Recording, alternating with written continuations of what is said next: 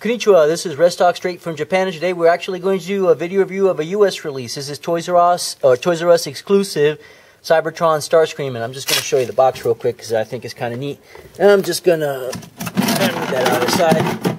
And I just want to see the artwork and you can see his little trademark smirk. Uh, Transformer Cybertron, RID, whatever you want to call it. Alright, this is a Supreme class.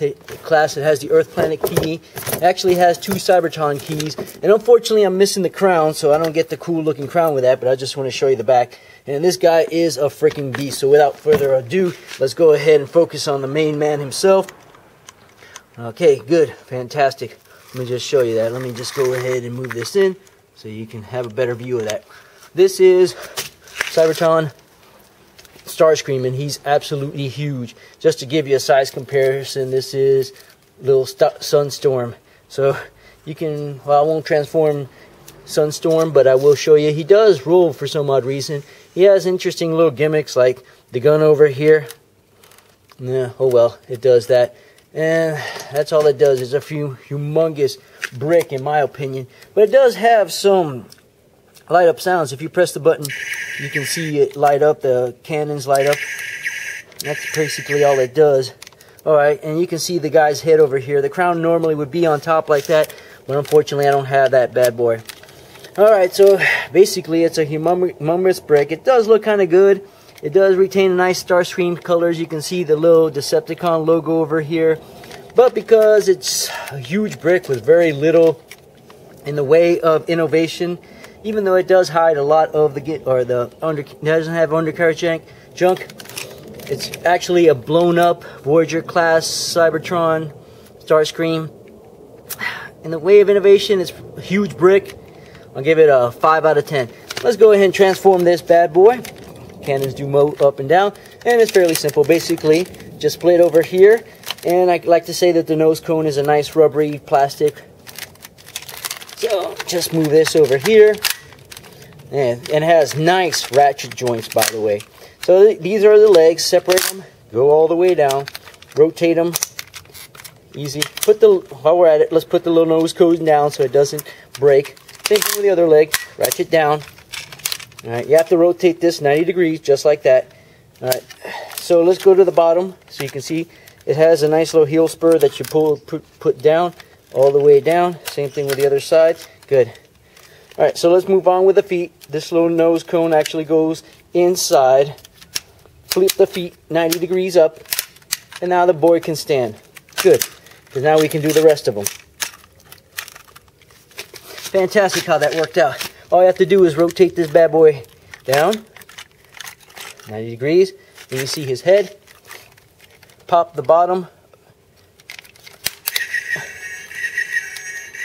transformation sound there, I guess.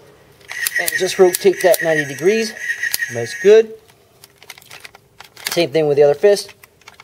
Tab it in. There we go. And just rotate that 90 degrees. Oh, and just for, just roll this down 90 degrees in the back so it gets out of the way. It does have a couple of gimmicks, and you can see it has good detail on the face. Face does rotate could rotate 360 degrees. Real nice. And here's the gimmick, so I just want to make sure it's a little dark so you may be able to see there. So I'm going to hit it. I don't know if you can see that.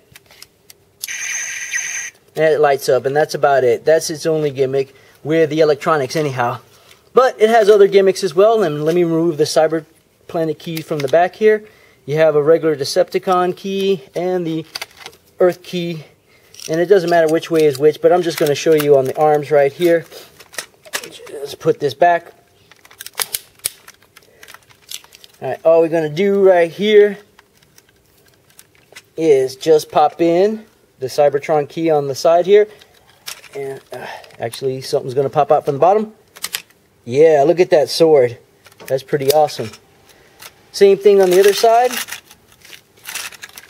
Oops. Well, and that's what I don't like about that. They actually just tab in there. So let me go ahead and tab that back in. There we go.